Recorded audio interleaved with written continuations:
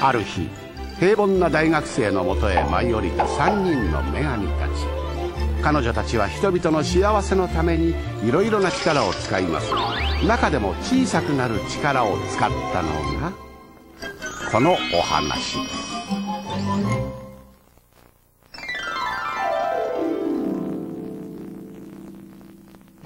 屋根裏にお宝探しへと向かった私たち2人と1匹。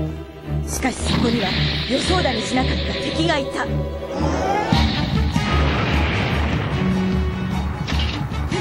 相手にとって不足なし。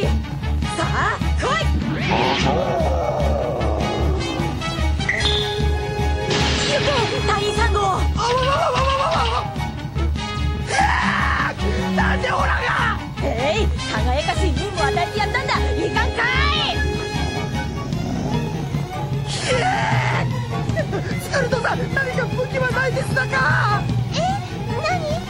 武器ですだ武器！ああ B ボタンよ B ボタン。えこれですだな。おおビームサーベルですだか。さすがはスクルトさん。そうこいです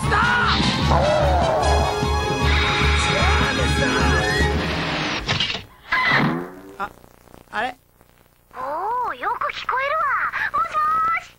これってアンテナ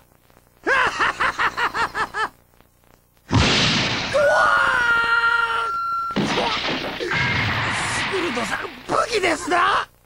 ガンちゃん C のボタンで最終形態にチェンジするのよ。今度こそ頼みますだよ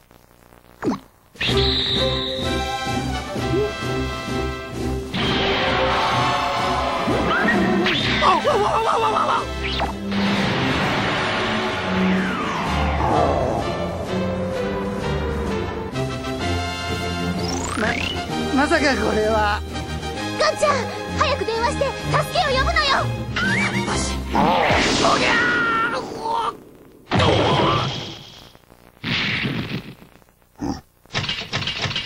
ほっと真打ち登場。ゲットパンチ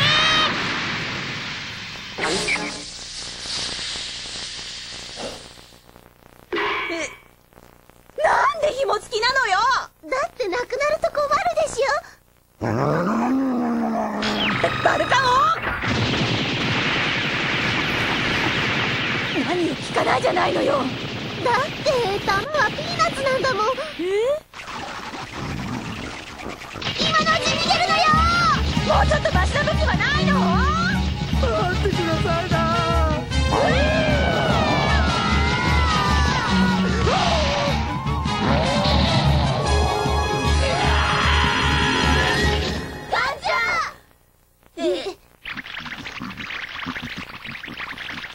笑ってるよ。そっか。さっき放り投げられた時にバイブレーション機能に切り替わったのね。やっぱり私って天才。はいもしもし。あ？さっき切れちゃったんですけど。なんで電話してんのよ。唯一聞いてた攻撃なのに。すまんですな。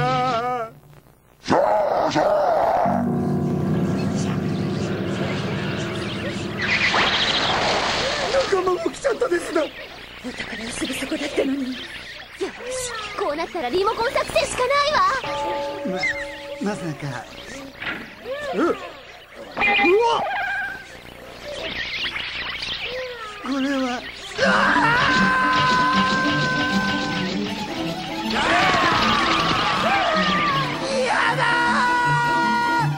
ありがとうガンちゃん。あんたの勇姿は決して忘れないこの辺りのはずね。いよいよお宝だ。よし照明弾発射。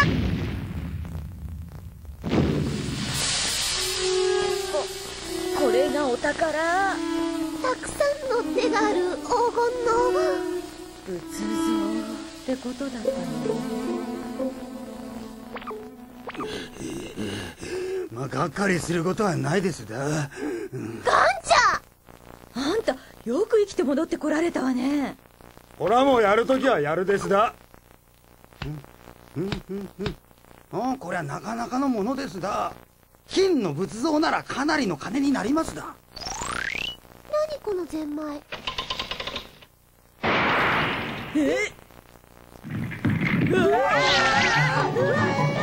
らくり人形だったのね再び輝かしい任務を与える。死ぬなよ。じゃあね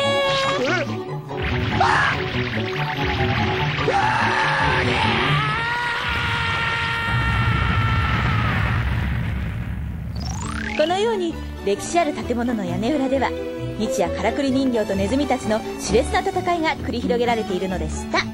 おしまいなわけないですな